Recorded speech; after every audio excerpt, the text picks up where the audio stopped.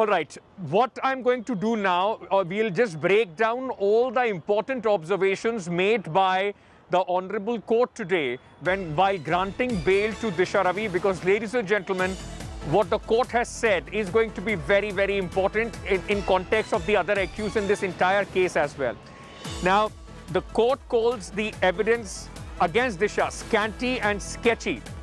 I mean, it's, it's a scathing commentary on Delhi police's investigation. Courts also said that there is no offense of conspiracy as toolkit does not call for violence. The court says creation of WhatsApp group or being editor of an innocuous toolkit is not an offense. Court also observed that prosecution has, except for pointing out that the accused forwarded the toolkit to Greta Thunberg, failed to point out as to how the accused gave global audience to the success to the secessionist elements as being claimed by the prosecution. I'm going across to my colleague Anisha Mathur, who's joining me live at this moment from the broadcast. Anisha, a big relief for Disha Ravi, but on the other hand, the questions that activists were raising right from the beginning, that it seemed like a witch hunt and intimidation tactic, a message being sent across to young people and the activists all across the country, these observations are only going to be a shot in arm for all of them. Well, yes, Ankit, if you look at this 18-page order of the Sessions Judge Dharmendra Rana, it is a very, very scathing critique of the investigation that has been done so far and the evidence that has been brought before it. In fact, I, if I may read out one paragraph on this, the court has said that the perusal of the toolkit reveals that any call for any kind of violence is conspicuously absent. In my considered opinion, citizens are conscience keepers of government in any democratic nations. They cannot be put behind bars simply because they choose to disagree with the state policy. In fact, the judge has in uh, even cited the Rig Veda to say that this 5,000 years old civilization of ours has never been averse to ideas from varied quarters and has quoted the Rig Veda to say that let noble thoughts come to me from all directions. Interestingly enough, they the court has also taken a step-by-step -step, uh, a clause by clause uh, look at every piece of evidence and argument that was brought before it.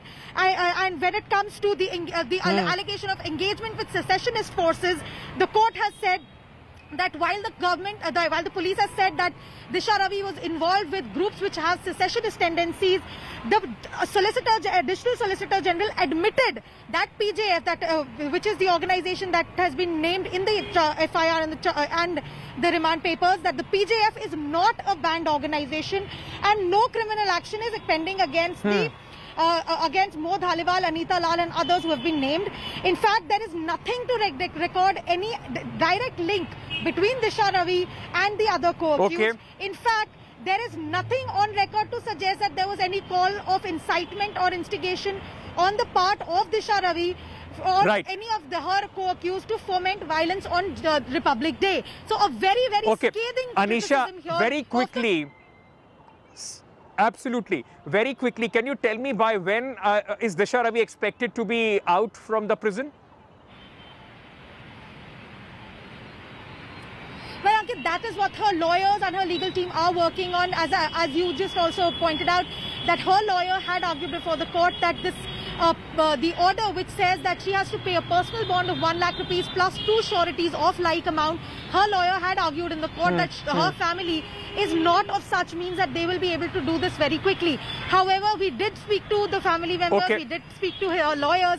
They are saying that they're trying to get all the formalities sorted by later in the evening today. So it is possible that Disha Ravi would walk out of jail tomorrow morning. Back to you. Anisha, thank you so much for joining us with all those latest updates and getting us uh, the, you know, a ball by ball commentary on these, uh, on the order which has been passed, in fact, uh, which has given bail to Disha Ravi. Hi everyone, Preeti Chaudhary here. Hope you like this video. For latest news and analysis, like and subscribe to the India Today YouTube channel. And don't forget to press the bell icon to stay updated. Thank you for watching.